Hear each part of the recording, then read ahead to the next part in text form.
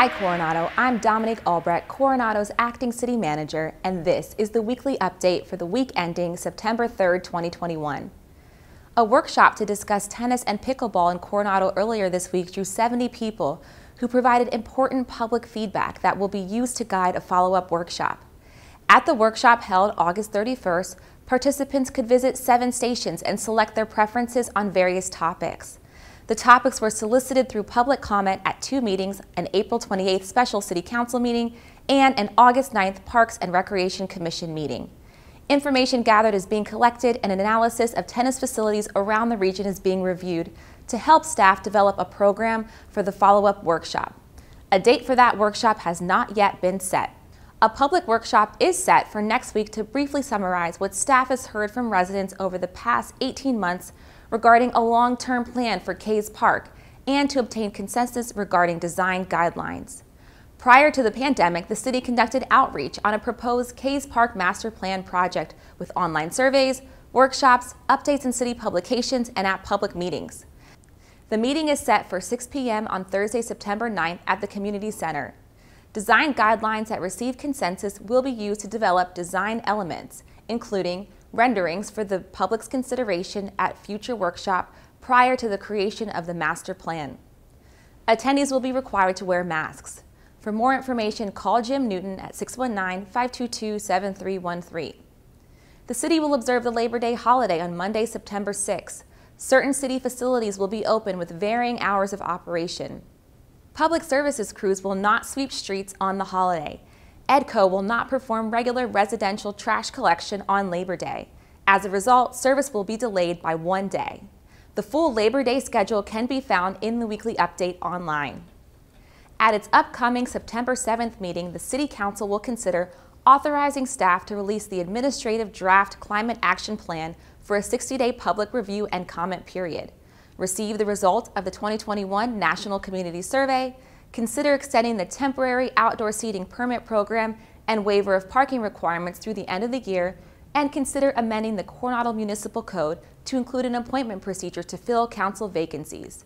View the full council agenda on the city website. The Coronado Public Library's Autumn Concert Series is back to in-person performances that also will be live streamed on Facebook. The kickoff performance is a classical guitar performance by local artist Claudio Martin, playing instrumental rock music on September 3rd.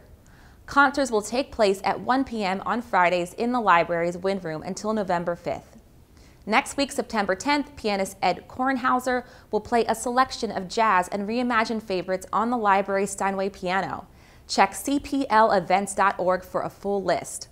All concerts in this series are free thanks to the Friends of the Coronado Public Library. Recreation programs for all ages are now open for registration and classes begin September 7th. Register soon as spaces are filling up fast. Check the weekly update online or the recreation page for more information. A reminder that the free summer shuttle ends on Monday, September 6th, which is Labor Day. The service provided courtesy rides to residents and visitors to get them out of their vehicles during the busy summer months. Thanks to Discover Coronado for the colorful wrapping of the four buses and to MTS for its partnership. Moose is this week's Pet of the Week. Hi, my name is Erin and I'm a volunteer here at the Coronado Animal Care Facility with Paws of Coronado. This week our pet of the week is Moose. Moose is a one and a half year old Husky Retriever mix who weighs 55 pounds. Moose is a sweet and gentle boy who is house trained and loves to be with his people. He would be thrilled to live with a family that will provide him with the same unconditional love and affection that he'll give back to them. And because he's so gentle, he would do well with kids of any age. Getting to be with you, spend his days with you, hang out, just play some ball would be his absolute dream come true. As with all of our animals, Moose is neutered and microchipped, he's up to date on his vaccinations, and he's had a flea preventative applied. He's available for an adoption fee of $125. Please be aware that the Coronado Animal Care Facility is open by appointment only. If you're interested in adopting Moose or any of our animals, you can visit us online at pawsofcoronado.org to fill out an application and our adoption coordinator will get back to you regarding the next steps. For more information on these events and all the city's news, check out the City Manager's Weekly Update online.